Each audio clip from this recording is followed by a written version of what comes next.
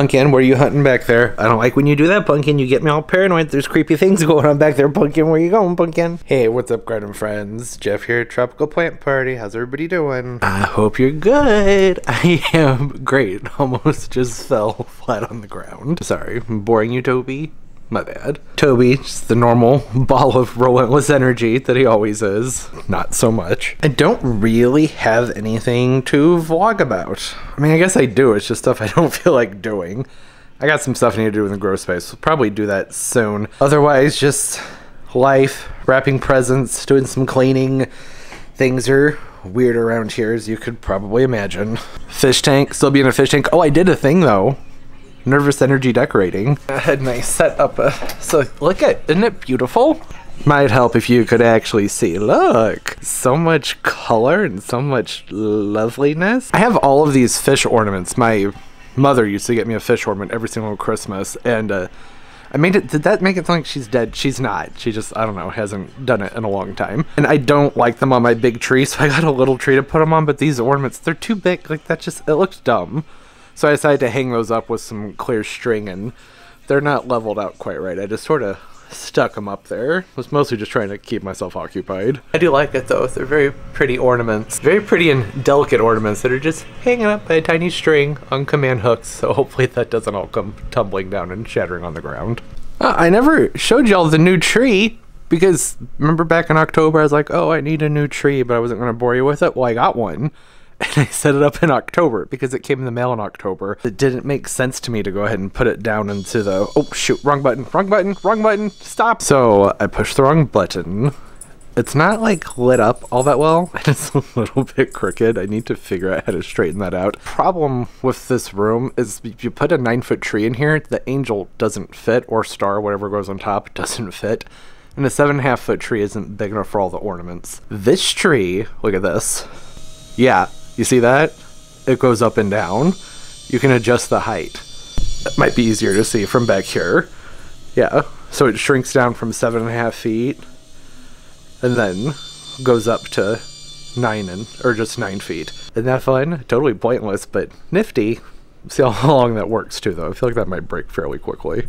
And I got that from Sam's. The price was pretty good. Lime tree, doing okay hay starting to green back up and making sure to give it a little bit of nitrogen and with its water because I think that that was a big part of the problem there. It wasn't chlorosis, it was just a common problem, nitrogen. Lime tree is covered in flowers. It has buds all over it and they smell so good in the morning. Pro tip though, don't stick your face in a plant full of thorns. Made that mistake the other day. It's gonna be really, really hard for me to go ahead and take down this Christmas stuff. It's so fun and colorful. I'm very much enjoying having all the color in the house. I will probably leave the lights up because you can switch them. Where's the remote? So you can set them to being just a single color. And I don't, well, I don't, I don't know why it's doing that. I don't have all the commands figured out on here yet because they're just numbers. So it's like, how do I keep straight what's what? It, originally, one and two on here were just different shades of white, but then they started randomly changing. I think five was the one that changes. excuse me. Is that changing colors? No. Yes, I don't think so. Eight. Maybe it was eight. Oh, that's definitely not it, but I kind of love it. Six. There we go. That's good. Anyways, my whole point was um, I will be sad to take all this down, but I might leave the lights up and just not have them on all the time. I need to get these orchids hung up. This is a problem with this particular grower, Motes. Uh, if you're into orchids, you've probably heard of them. They have really nice Vandaceous orchids for the most part, but they never include the hangers. And these really, like, they should be hanging up. Like these right here, they're, they're on hangers. So I always forget if I order from this particular grower that I also need to make sure that I have something to hang them up with. You can use wire coat hangers, I just don't have any. I've just used regular wire and made them myself before. That worked, but it was a little bit wonky. And since I don't have a ton of them anymore, I prefer to just use the ones that are made for them. All right, we can go out to the garage and do plant things now. The problem is there's just not that many plant things to do right now. I have my temperatures fairly low and cool, because I don't have the plastic up out here. And then while all the Christmas lights are on outdoors, I can't run the heaters enough to keep it like super toasty in here. and that's it's never been a problem. I'd make sure it stays like between 55 and 65 and just I'm very careful with the watering and it's always been okay. I don't have anything in here that's going to throw a huge fit over something like that except for well the heliconias don't really appreciate it and um, the coconut palms they, they, they don't like it either. I feel like I'm forgetting something. Oh, the Licuala palm. I don't have that anymore. That didn't survive 2020. Not a plant to be taken care of by beginners. They're, they're kind of challenging. Pretty sure I talked about that in the last Q&A. I do have a ginger that you can kind of see underneath the shelf there on the other side of the pond. It's an Alpinia Zerumbet variegata. Uh, it's not doing great over there. I think that end of the garage is just a little bit too cool for it.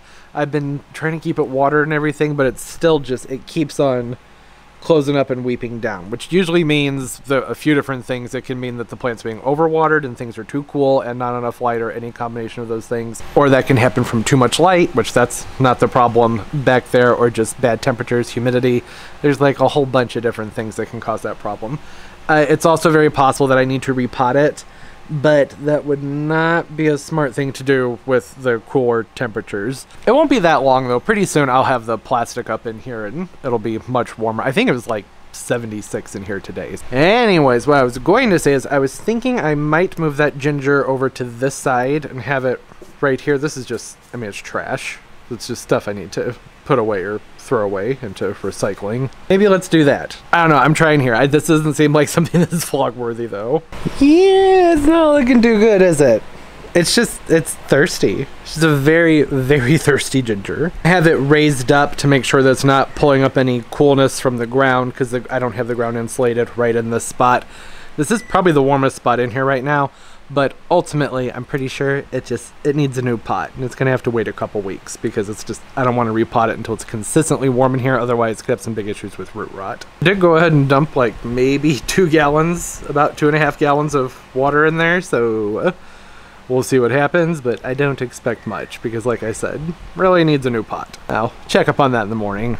Holy frickin' beautiful morning. Like what does this say 52, not that you can see that. 52 degrees, that is a very nice improvement. It has been so cold lately. I mean, like normal winter cold. Actually, it has been a little bit dramatic. It hasn't been terrible, but it's supposed to get to be fairly chilly. 16 degrees coming up here in just a few days. So I'm gonna have to probably move a few more plants inside. Maybe. I don't know. The all that's really left out there are the mule palms, which you might be able to see through the shears. You can kind of see them out there.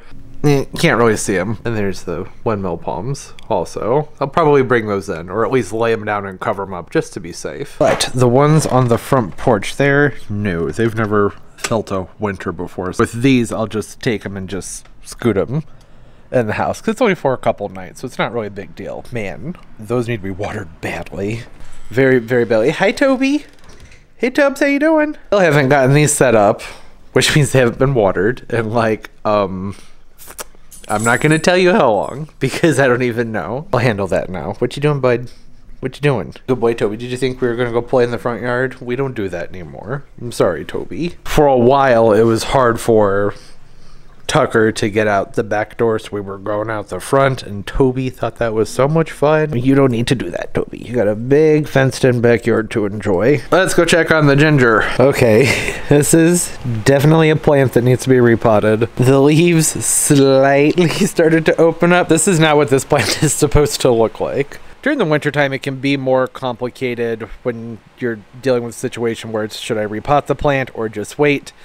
In this situation, I think waiting might be a pretty bad idea because if I can't get water to the plant, if it's become so incredibly root bound that two and a half gallons of water into that little 10 inch pot isn't enough to rehydrate it, then it's going to die. So then the question becomes do I want the plant to die from dehydration or from potential root rot from repotting it during the time of year where it's not necessarily ideal? Since the space is heated and it will be quite toasty in here fairly soon, I'm not that concerned about going ahead and maybe just bumping it up just just a smidge just enough to get some fresh soil around the roots something to hold on to some water because clearly this isn't working out. And temperature is also something really important to keep in mind. Like I said yesterday, it was about 76 in here. Right now, it's about 74. It's going to probably push 80 in here today, and that's more than warm enough for this plant to be moving actively, for there to be that transport of water and nutrient from the root up into the foliage to get the leaves to open up and to have the plant growing. But sometimes, oftentimes, actually, when the leaf curl's going on like this, that can really just be because temperatures aren't warm enough for the plant to be metabolizing, essentially. Their plant metabolism is all slowed down from things being cold. And that risk of root rot gets high again because you water the plant and then the water just sits there around the roots of the plant. And then there's rot, but I don't think that's going to be a problem here, not with this one. Things are warm enough there's about enough light I can scoot a grow light over here. Not all the lights have come on yet. The temperatures are good enough that it should be able to flush out. So I'll go ahead and bump this up just one pot size, just just barely, just a smidge. Hey, at least it's nice outside so I can repot this outdoors and not make a huge mess in here. That's kind of nice. Yeah, I didn't film the repot and everything. I've done a whole video on repotting these alpinias I don't, maybe it was last summer, something like that. I'll link it down below. Didn't really see a reason to go over all that information again, but there's some kind of bizarre, I don't, is that a hammer? I don't know. This is the closest thing I could find that was just a smidge larger than the root mass and the original root mass on the plant. And it works fine. Like I said, I didn't want to bump it up too much. There's only about maybe half an inch of soil in the bottom, so that should help prevent things from getting too waterlogged down there. Ideally, things are going to be warm enough in the grow space this winter that I hopefully won't even have to worry much about root rot. But it's just, you know, bad time of year for repotting, whether it's warm or not. It should be fine, should be safe, but like I said, it's still a little bit of a gamble. With these alpinias, they, in my opinion, huge pain in the butt to keep as a house plant. I do not like having these in my house. In the grow space, in the garage, kind of a different story because it's nice and warm in there. Maybe if you have an atrium, sunroom, something like that, that's nice and toasty for them. But getting the watering right on these can be tricky at normal household temperatures. If they get just a little bit too much water, then they start to rot. And that's such a pain to deal with. And there's always issues with the leaves staying curled. That's one of the most common questions I get actually is about leaves curling on their gingers and bird of paradise. I should probably just do a video about that. Tried to cut off as much of the dead leaves as I could, but I didn't, you can see I missed a few. Like I could probably go ahead and get this one off of there. What I am waiting on though is getting in here and really pulling all the brown stuff out from the inside just because like, I mean, we can tell, um, look at that. Clear to see here that this plant is very stressed out and uh, probably pretty weak. So I don't want to be tugging and pulling too much just because that can lead to bruising. You can kind of see, I just smacked my camera. Like you can see there's a little brown mark, kind of, you can sort of see it on the stem here. I don't want to exacerbate the problem here. I'll give it a couple weeks and see how it's looking and then can get in there because these pieces that are down low, you really kind of have to tug at them pretty hard to get them out of there. And I think this poor thing's been through enough for right now. So sorry. Waited too long to repot it. That happens sometimes. Well, that looks so much better, doesn't it? Maybe not. No. The Alpinias, I don't normally, I think I already yeah, I talked about this. I don't try and keep them looking very pretty during the winter. We'll see what happens this year because things should be warmer in here than they normally are, and I have a few more grow lights than I used to. But usually they get kind of spindly, kind of sad looking. I water them at like an extreme minimum, but I also normally keep them on the cold side of the garage, so they're more just kind of dormant and hanging out. Whereas this year it's going to be warmer. I'm gonna give it a shot, see what happens. If it's not looking great, then I'll go ahead and bump it over to the other side of the garage, which is the over behind all these plants where things are a lot more cool and can just rest and relax for the winter time. Only thing I didn't mention that when I do a video on leaf curl, well, it's just a dead leaf there's a curled leaf up there. When I get a video done on that, something that I'll be talking about is that using heat tape is always an option if you're struggling with one of these in the house and it's just not doing great then you can wrap the pot with a heat tape just make sure that the whatever product you buy whatever type of heat tape that is, that it says whether or not it's safe to use it on a plastic container. If it's not, you might need to move the plant to something that's ceramic. And there are heat cables you can even wrap around the root mass when you pot the plants. You can give those a shot as well. And that'll help keep things warmer and toastier for the plant and keep them going. I think that's like really taking things to a whole nother level. But if it's what you got to do, it's what you got to do. No, We've done some pretty crazy things with our plants, like gutting your garage and putting a pond in it. yeah, I'm not one to judge on doing extreme things for the plants. I got a new heater. Just, I know that's not the most exciting news ever, but I actually really like it. It's been working wonderfully, except for some reason it it, it turned off last night.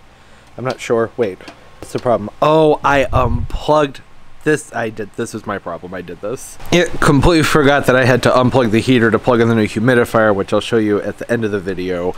Love the new humidifier or humidifying system that I'm doing out here. It works very, very well. And I do really like this heater. Anyways, though, new heater, and I think that this might be like my favorite one I've ever had. It actually warms up very quickly and it's not drying the air out a lot. I mean, it dries out a little bit, but not a ton. Doesn't matter. It didn't end up getting very cold in here last night. I did get a new uh, thingy, one of these little smart sensors. Here it is, right here. It's the Govee Wi-Fi, and it has Bluetooth, and it just links up to an app in my phone, and I can set a range for temperature and humidity. And if the temperature humidity falls outside of that range, then it'll send an alert to my phone which is awesome. That's something I've wanted to get out here for a while. I had a system a few years ago. I want to say I don't think it was made by LaCrosse. I can't remember who made it. Whoever it was, they sold to a different company. It was just the little plastic sensors. You could use them indoors or out. And I had like ten different sensors, so I had them outside all around the garden. I had them inside, and they all went into their own little program and like there were graphs and charts. It was really neat to look at but the company sold and when they sold the software just stopped working and i didn't want to spend like a hundred dollars on something else when i didn't have i used okay background i used to have greenhouses and things outside around palm trees that were planted in the ground i stopped messing with all that just so i didn't feel like messing with it in the wintertime anymore but back then it made sense to have all the different sensors so i could just open up my phone and see what was going on inside those greenhouses because sometimes it gets hot and you have to open them or you might need to insulate them a little bit better. So that's that. I don't need all that anymore. But this, this little thing right here works wonderfully. I really like it a lot. The only thing I don't like about it is when you set it up, you can set your intervals for how often it refreshes, and it's like 10 minutes, an hour, and then a day, I think are the options. The more frequently you want it to uh, refresh, then the worse the battery life's going to be, obviously. And I set it to do every hour, which is fine. But when I just want to refresh it, it doesn't just refresh for me. So it's not like I can just pull open my phone and get exactly what's going on right at that moment. I have to wait for that hour to go by. I don't, I'm not really a huge fan of that, but otherwise, I really like it. It's only like I think it was sixteen dollars on Cyber Monday. I think it might be 18 or twenty dollars regular price. Great product, really like it. No, abrupt change. That's just, you know, the way things go around here. Whole point though was that the low last night was only like I don't know, 47 or something, and it didn't drop below 65 in here, so that's fine. Almost just tripped myself back there. But the low coming up, you know, I showed you my phone at the beginning of the video, that was from a couple days ago. Well, now that low is 14. It doesn't really matter, because I was going to scoot the plants inside anyways. I still need to pull the plants out of the Gorilla cart they've been sitting in there for too long. So I need to put those away, then make room for the two windmill palms and the two mule palms, which the mule palms, those have gotten kind of big. I don't think those are going to fit here because they're this door. Which usually the door is down, but if it needs to go up, then that, that's going to be a problem. Did I mention Fiddlehead finally starting to do its thing and do some moving over here on the Australian tree fern? I knew it wasn't dead. I knew he was just trying to trick me out, just being the complicated little diva that it always is. Fun update here. I was just getting ready to bring the mule palms inside because it randomly dropped to 17 degrees out of nowhere. It's dropping down to 12, but this is, it's frozen. I can't get the thing. This has never happened before. I think I can still use this. I'm just not entirely certain. Yeah, well, I don't know. I'll make it work. They got to get inside somehow. and that is steaming because it got frozen shut, so I had to pour boiling water over the top of it. Hopefully, it didn't break it. think I may have, though. Probably wasn't supposed to do that. All right. Got those plants moved in. I know that was very random and chaotic. It was just one of those things where I had to jump on it and get it done. It has actually been a few days since that last clip. By a few days, I mean like know, five or six, something like that. So it's already warmed back up, and I moved one of the windmill palms back out. I just haven't gotten around to getting this one back out. The mule palms, I suppose I could go ahead and move back out. I might wait just because there's some snow in the forecast. So I'll wait and see what happens there. I did have to give these a very extreme prune. I said had to. I chose to. They were just so wide and they don't need all the foliage on them during the wintertime. I mean, they shouldn't be bare or anything like that, but it's not like they're photosynthesizing or doing any growing. They're just kind of hanging out and chilling. So it's not unusual for me to go ahead and give them a pretty heavy cut when I move them in for the winter time. And you know, and that kind of finishes things up because this video was supposed to be out on a Saturday. That's when I released my videos. This would have been on the 26th. Uh, at least it's when I released the vlogs, anyways. But uh, that was when my family was doing our holiday celebration. I figure I should just go ahead and wrap this up so that I can release it at some point before things get too weird. If things go on too long, then that will be kind of weird having like all this weird holiday stuff going on in the videos when there's no holiday, like when it's New Year's. Why won't this focus? Come on, focus. So that way I'm not releasing a video after New Year's with all this Christmassy holiday stuff in it. Got a new, see this fiddlehead here popping out on the Australian tree fern? Relieved to see this because it had some cold damage. I had kind of figured that if I just made sure to give it some warmth and get it watered really well that it should spring back to life because they tend to be pretty tough like that. But it was one of those things where I was like, eh, never know. I know I had just said that I was going to wrap this up, but I got distracted and wanted to show the new frond that's unfurling here from this very pretty but pain in the butt fern. Uh, hopefully, the vlog that comes out after this one will be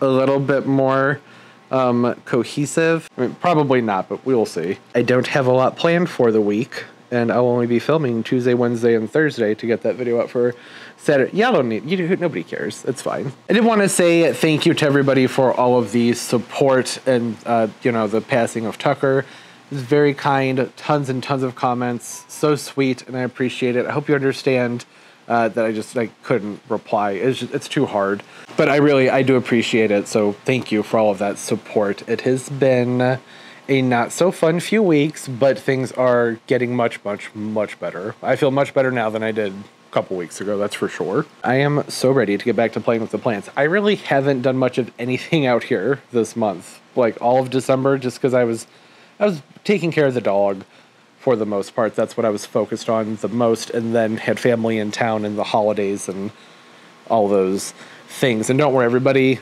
stayed in a bubble for a couple of weeks and then got COVID tested, and then we all made sure to stay together. We did the whole thing. It was just a few people. We're all very, very, very careful. Lots of germaphobes, lots of germ freaks. Nobody in my family is okay with cooties. I hope everybody's doing well, having a great day and a great life, and everything's just going beautifully for you. Hopefully, enjoyed your holidays or still enjoying your holidays. There's still holidays happening, even though Christmas is over. There's still things other people are doing. This box has about 70 feet of 8 millimeter plastic in it, greenhouse plastic, or grow room plastic, actually, in it and I think it's time for me to just say, forget it. Trying to get the things that I was trying to get. I'll explain that when the time is right. It's time to just go ahead and get that stuff put up there. We'll talk about that next week or whenever I actually get around to getting that done. Again, thank you all so, so, so much for the support. I really appreciate it. And of course, as always, and most importantly, everybody, keep on growing. Bye bye.